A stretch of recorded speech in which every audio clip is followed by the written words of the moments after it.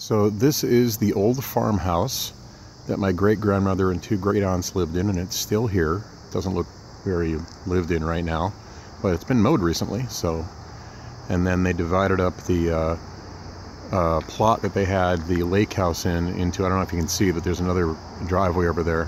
So they actually divided this uh, plot, which had a thousand feet of, of uh, lakefront, into two, uh, you know, great room McMansion spots quite a while ago, like in the mid 90s probably. And uh, so that's it. This place still smells the same way. I wonder if that's the smell of the creek. Huh.